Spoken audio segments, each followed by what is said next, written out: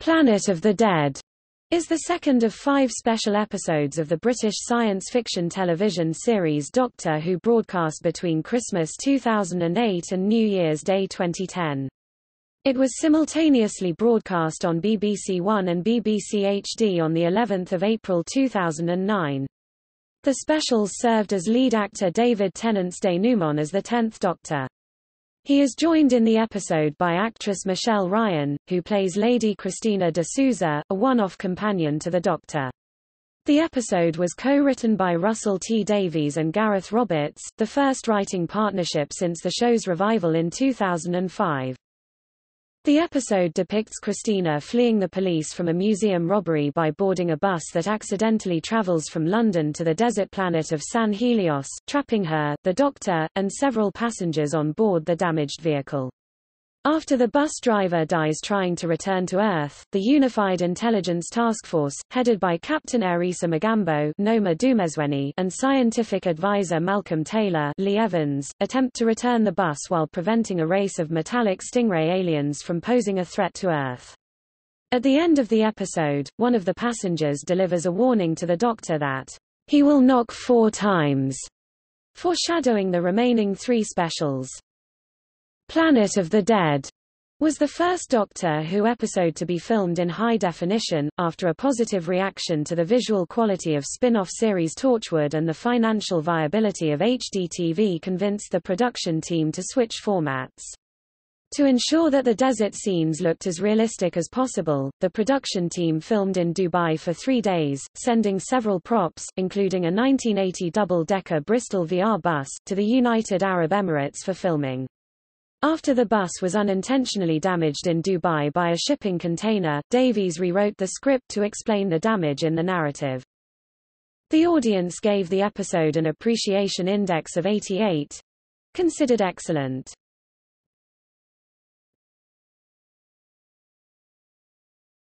Topic. Plot The burglar lady Christina de Souza steals a gold chalice once belonging to King Athelstan from a London museum and hops on a double-decker bus. The doctor later joins her and the other passengers, just before the bus passes through a wormhole and ends up on the sands of the planet San Helios. The doctor studies the wormhole and determines that the bus protected them from its effects like a Faraday cage, and is too late from stopping the driver from stepping back through. When the driver's skeleton appears on Earth, unit forces are alerted, led by Captain Erisa Magambo and aided by scientific advisor Malcolm Taylor. The Doctor contacts UNIT to coordinate efforts of how to return the other passengers safely to Earth. The Doctor and Christina scout ahead, while the others attempt to repair the bus. The Doctor and Christina spot a sandstorm on the horizon when they are met by two fly-like tritovores, who take them to their wrecked spaceship. They explain they were delivering a shipment to San Helios, which had housed billions of people just recently but now is desert wherever they scan. The doctor has them scan the approaching sandstorm and finds it really is a swarm of stingray-like aliens that are destroying the ecosystem.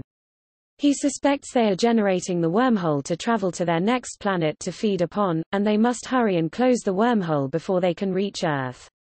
Christina uses her burglary skills to obtain a power crystal and its mounting from the Tritovore ship, but accidentally wakes an alien stingray, which consumes the Tritovores.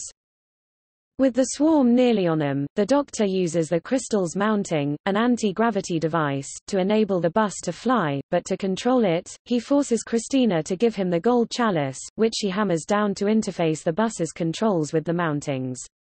They fly back through the wormhole just as Malcolm and Magambo shut it down, but not before three stingrays sneak through, which UNIT quickly dispatch. Christina is arrested. She asks the doctor to take her with him, but he refuses, however, he allows her to escape and fly off on the bus before authorities can stop her. As the doctor departs, Carmen, a passenger who has low-level psychic abilities, has a premonition that the doctor's song is ending and he will knock four times.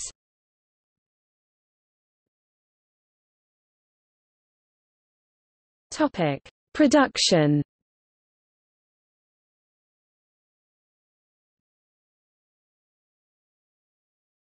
Topic: Writing and casting. Russell T. Davies co-wrote the episode with Gareth Roberts, the first writing partnership for the show since its 2005 revival. Planet of the Dead was a departure from Roberts' usual stories. Roberts had previously only written pseudo-historical stories, and instead consisted of wild science fiction elements from his literary career and teenage imagination. The episode had no clear concept, such as Shakespeare and witches in The Shakespeare Code, or Agatha Christie and a murder mystery in The Unicorn and the Wasp, and instead was a deliberate clash of concepts with many disparate elements. Roberts explained he was cautious to ensure that each element had to feel precise and defined, like we meant that, citing the serial arc of Infinity as an example where such control was not enforced.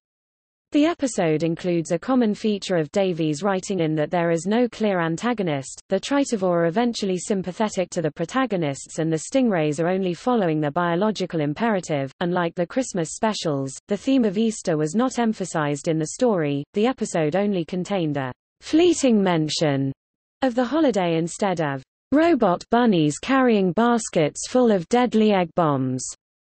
The episode's tone word, joyous, was influenced by Davies' realization that every story since The Fires of Pompeii had a bittersweet quality, and his subsequent desire to avoid the recurring theme. The starting point for the story was Roberts' first novel The Highest Science. Davies liked the image of a train on a desert planet and rewrote the train as a bus. Davies nevertheless emphasized it was not an adaptation as such, because tangential elements were constantly being conceived and added. Michelle Ryan's casting as Lady Christina de Souza was confirmed by the BBC on 23 January 2009 and attracted media attention owing to Ryan's recent relatively high-profile roles in EastEnders, Jekyll, Bionic Woman and Merlin. Ryan stated that she is a huge fan of Doctor Who and was very excited to be joining David Tennant and the Doctor Who team. Davies commented that, Michelle is one of the most sought-after young actors in the country, and that they were delighted to announce that she would be joining the team. Ryan described her casting as a real honor, noting that she loves the character Ryan was rumored to be in line for a role as full-time companion to the incoming 11th Doctor Matt Smith and her casting in Planet of the Dead. Combined with her previous working history with incoming executive producer Steven Moffat, the two working together on Jekyll, fueled speculation that she might return to Doctor Who accompanying the 11th Doctor in Series 5. Ryan herself has said that she is open for a return to the character, however, stating that she is a commitment phobe at the moment and with regards to her character she views her as someone who is around for this one-time adventure. Quote, it had been reported that Ryan auditioned to replace Billie Piper in the companion role when her character, Rose Tyler, left in 2006, but was unsuccessful. Ryan subsequently stated that this was false. Ryan was interviewed by BBC News about her role as Lady Christina. Ryan praised her colleagues and the family atmosphere on set and described Doctor Who as really something special to do. Quote dot. On 9 April 2009, Ryan guested on Steve Wright in the afternoon on BBC Radio 2 and on the Justin Lee Collins show on ITV2 to promote Planet of the Dead. After a showing of a trailer for the episode on the Justin Lee Collins show, Ryan described the fantastic time she had filming in Cardiff and in Dubai. Ryan's character Lady Christina de Souza is an adrenaline junkie and thief. Christina is a typical Doctor Who companion, Davies electing to draw parallels from the time Lady Romana rather than new series companion Rose Tyler. Roberts described her as an adventurous who is Upper class and glam, suited and booted, and extremely intelligent which the Doctor could relate to because they both rejected their heritages. The episode's director James Strong described the character as reverting to a traditional romantic-based companionship, rather than the platonic companionship of Donna Noble Catherine Tate in the fourth series, while still being a unique companion. It's back to basics, she's probably more of a traditional, romantic kind of Thomas Crown affair kind of heroine, if you like.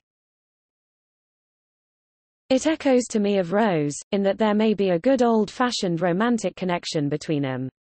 She's young, she's beautiful, she's sexy, but whereas Rose was a very ordinary, normal girl, Lady Christina is a lady, she comes from a very privileged, very elite background. She's different to any of the companions we've ever had in that she doesn't particularly want to get caught up with the Doctor.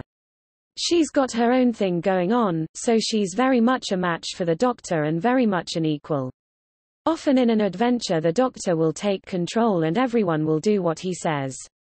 She's very much in control, the two of them are in a sparring way, battling against each other to get through this adventure. Comedian Lee Evans plays Professor Malcolm Taylor, a unit scientist devoted to his predecessor, the Doctor. Davies created Evans' character to serve as a foil for Noma Dumezweni's pragmatic character Captain Erisa Magambo, who previously appeared in the episode, Turn Left.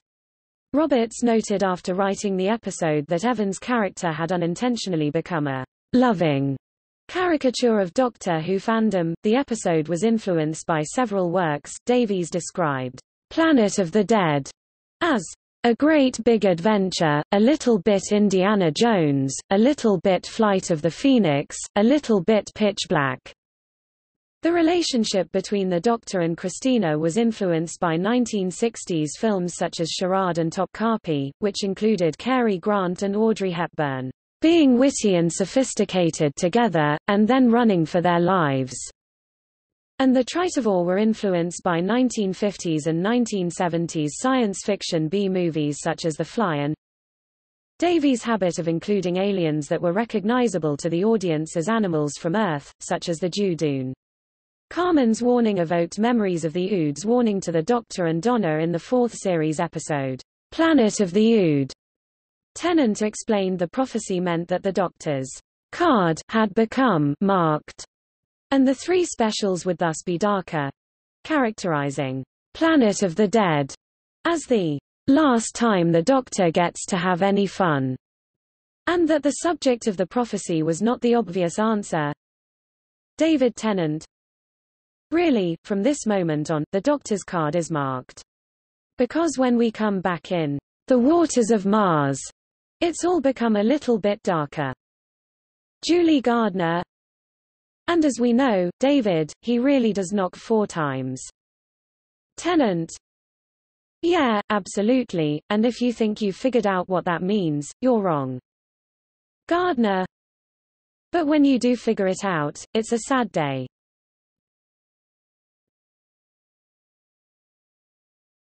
Topic. Filming Pre-production on the four specials started on 20 November 2008, four days before scheduled, because the episode's overseas filming in Dubai required the extra planning time. Two weeks later, the production team was on a recce for the special and the final draft of the script was completed. The production team examined overseas locations to film the episode because they wanted the scenery to feel real and thought that they would be unable to film on a Welsh beach in winter.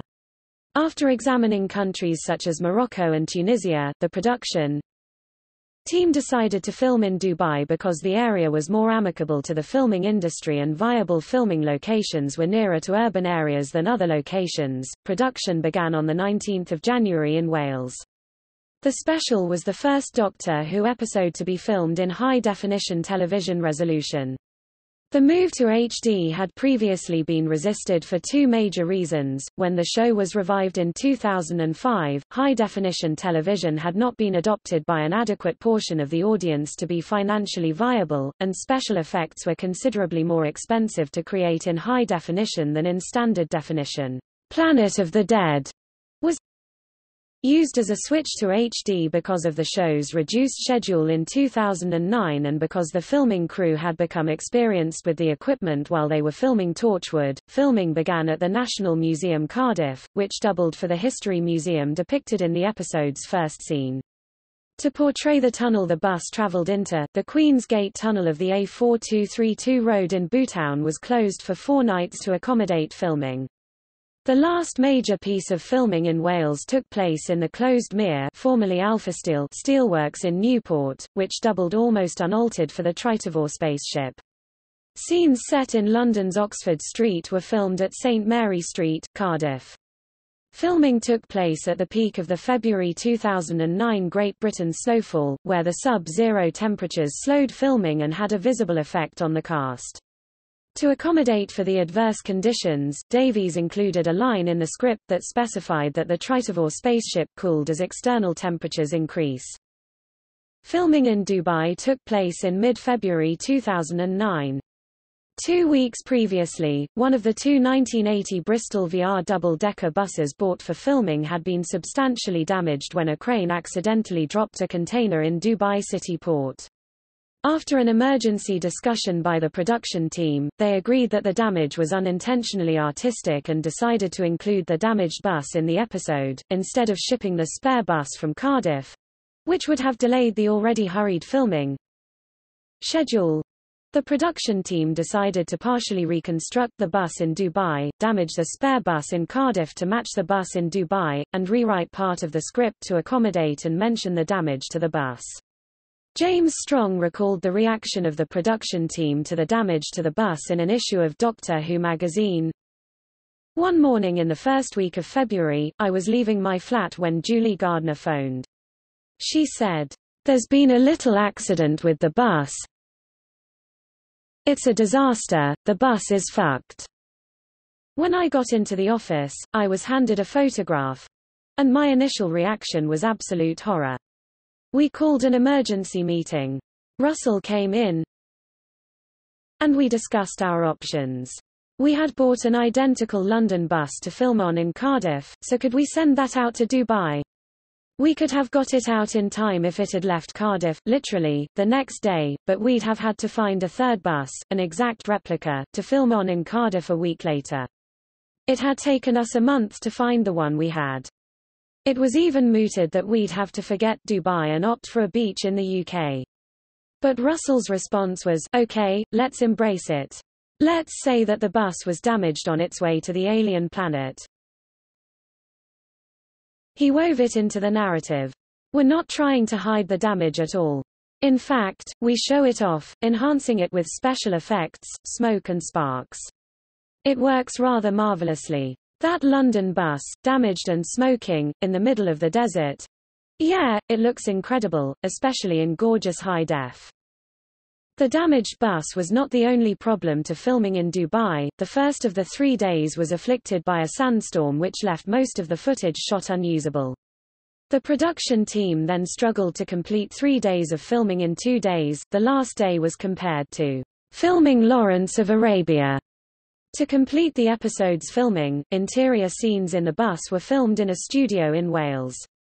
To disguise the fact they were using a translite, a 360-degree background image, Strong utilized often avoided techniques such as muddied windows and lens flares, the latter also served to create a warmer environment for the viewer. After filming ended, editing and post-processing took place until two days before transmission, leaving the BBC to resort to using an unfinished copy to market the episode.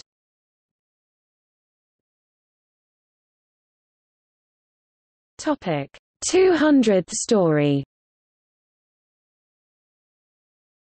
Planet of the Dead was advertised as Doctor Who's 200th story. Writer Russell T. Davies admitted that the designation was arbitrary and debatable, based upon how fans counted the unfinished serial Shada, the season-long 14-part serial The Trial of a Time Lord, and the third series finale consisting of Utopia, The Sound of Drums, and Last of the Time Lords. Davies personally disagreed about counting The Trial of a Time Lord as one serial, arguing that it felt like four stories to him, and grouping Utopia with its following episodes, but agreed that it was only an opinion which did not override any others. Gareth Roberts inserted a reference to the landmark. Specifically, the bus number is 200. And Davies emailed the show's publicity team to advertise the special as such. Doctor Who magazine's editor Tom Spilsbury acknowledged the controversy in the magazine's 407th issue, which ran a reader survey of all 200 stories.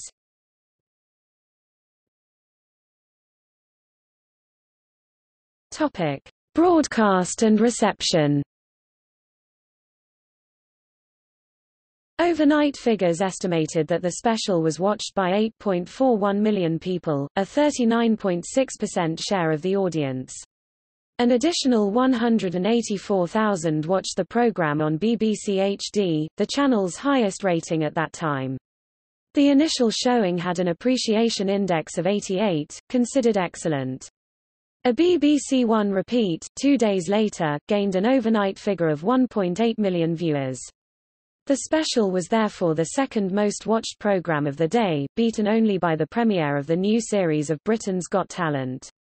The final viewing figure, for the initial broadcast was 9.54 million viewers on BBC One and 200,000 viewers on BBC HD, making it the fifth most watched programme of the week and the most watched programme aired on BBC HD at that time. Including repeats in the following week and viewings on the BBC iPlayer, 13.89 million viewers watched the episode in total. The episode received average critical reviews. Simon Brew of science fiction blog Den of Geek said the episode was, by turns ambitious and predictable, but still quite entertaining. The first part of the review mentioned an objection from his wife that the bus trapped in the sand looked really fake, despite the episode being actually filmed in Dubai, and then mentioned Brew's appreciation of the concept of people stranded in the desert and concluded that made a fair fist of it. Brew positively reviewed Michelle Ryan's performance, comparing her performance to be on par to her role in Bionic Woman rather than her role as Zoe Slater in EastEnders, and Lee Evans' performance as Malcolm Taylor, calling him the highlight of the episode because of his dialogue. He closed his review by saying that, Planet of the Dead was passable enough. He thought it never really gelled for him, but he thought it was overall entertaining and was excited, for the remaining three specials as a result of Carmen's prophecy, Charlie Jane Anders of IO9 mostly loved Planet of the Dead, commenting that it was a standard Russell T Davies script, POTD was pretty much everything you've come to expect from Russell T Davies who, crazy adventures, slightly cartoony characters, clever dialogue, moments of sheer silly fun, a childlike solemnity, a miraculous save, bombastic music, and one woman who's held up as being the most special person ever. It didn't hurt that POTD had all the elements of a cracking good story, the Doctor and friends trapped on an alien planet, on the other side of the universe, with no easy way to get home. Alien creatures who might be hostile. A deadly swarm coming to tear our heroes apart. And unit on the other side of the wormhole, trying to come to grips with this almost unimaginable threat. She compared it to two previous episodes, The Impossible Planet and Midnight, both of which she enjoyed. She criticized three aspects of the episode, Lady Christina, who was the First, Russell T. Davies heroine who actually filled her with revulsion. Leaving her hoping that the character would be killed off-screen, Malcolm's reluctance to close the wormhole and the implausibility of only three stingrays traveling through it. She thought that the episode was a pretty solid adventure with a cool set of monsters. Ben Rawson Jones of entertainment website Digital Spy gave the episode two stars out of five. He characterized the episode as being as hollow as a big chocolate Easter egg, because it was lacking in the enthralling drama and compelling characterization that has been the linchpin of the Russell T. Davies era. His main criticism was towards Ryan's character, describing the romantic tension between Christina and the Doctor as feeling forced, and arguing that Ryan was utterly unconvincing as Christina. Conversely, he was appreciative of Strong's direction and the unit subplot. Specifically, he approved of Evans' performance, noting that the fact that Malcolm names a unit of measurement after himself is both inspired and hilarious. His review ended by describing the episode as lifeless for much of the hour, and expressing his hope that the ambiguous entity from Carmen's premonition would hurry up. Orlando Parfitt of IGN gave the episode a 7.1 good rating out of 10. Parfitt called it a straightforward story that did not elevate to the level of excitement typically seen in Doctor Who until the episode's climax, instead describing the majority of the story as being taken up with Tennant and Ryan standing in the desert, swapping flirtatious banter in between proclaiming how dire their situation is and criticized the writing of the part of the episode where the bus was on San Helios, claiming that plot devices such as the Tritovore or Taylor being held at gunpoint and ordered to close the wormhole as feel ing forced and unnaturally shoe-horned into the script. His praise of the episode went to Ryan and Evans, although he thought of Christina as a shameless Lara Croft ripoff. He said that the character still proves a sexy and wise-cracking counterpart to the Doctor, and Evans acting alongside Dumezweni highlighted his undeniably great comic acting, as opposed to his Love It or Hate It stand-up comedy. The last paragraph of his review focused on the climax, which he thought was a cracker that just about makes up for the previously plodding plot, and described the entire episode as having enough enjoyable moments to entertain fans before the transmission of The Waters of Mars, Planet of the Dead, was nominated for the Hugo Award for Best Dramatic Presentation, short form, but lost to The Waters of Mars.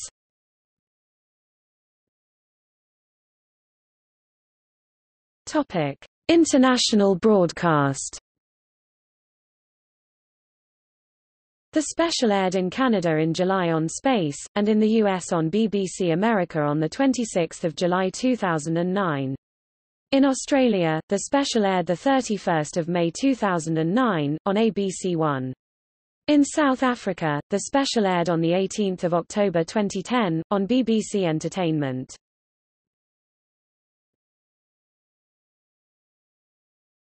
Topic. Soundtrack Selected pieces of score from this special, as composed by Murray Gold, were included in the special's soundtrack on 4 October 2010, released by Silver Screen Records.